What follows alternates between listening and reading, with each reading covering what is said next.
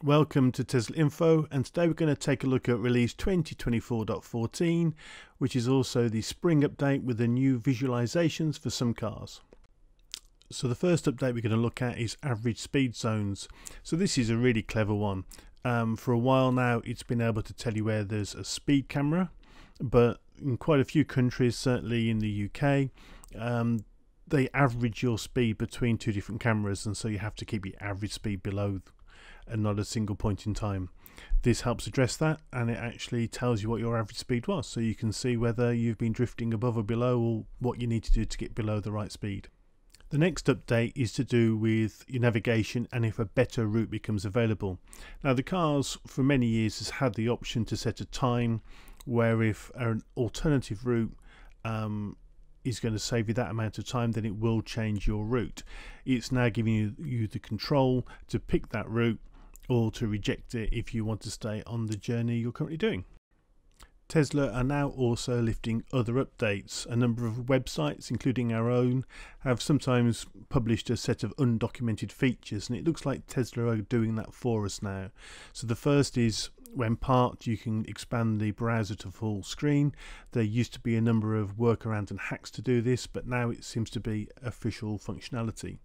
The second change um, is to do with Sentry mode recordings and as well as deleting them from the car, it now looks like you can delete them from the Tesla app as long as you have 4.32 onwards, which again means you can save space, although we rarely find Sentry mode takes up so much space that you have an issue. The next change is a little security enhancement. If you've uh, put the car into valet mode, you'll now get notification when the car's been unlocked or effectively been driven. Um, so you can actually check up on your valet parking people if they're moving the car around and how fast they're driving because you can now see that in real time because you're notified when they're doing it.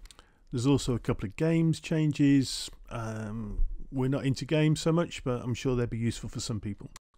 There have also been some security improvements, no idea what they are, and it seems to be something as part of every release nowadays. The next one, which we think is a big one, is speed camera chimes. One of the big gripes with the speed camera notifications was you had to be looking at the screen to know that there was going to be one. You could see it on the map, on your navigation route, but you didn't get audible warnings. So we think this is a big improvement. There's an update to Spotify as well, which presumably means you can have lots of cars parked up and blasting out the same music. Uh, the trip progress bar is also a new change. We're not quite sure what this is going to give you really that the map didn't because you need to have premium connectivity and therefore to see the traffic information you could see that on your route but I guess it's telling you how far through a journey you are so you get some sense of progress the big one really is going to be the visual updates which is user interface version 12 and this is only going to be available as far as we understand it on the cars with the Ryzen processor. So that's cars built from around 2022 the graphics are also very similar to the ones that were used on the Cybertruck. In fact the style is very similar.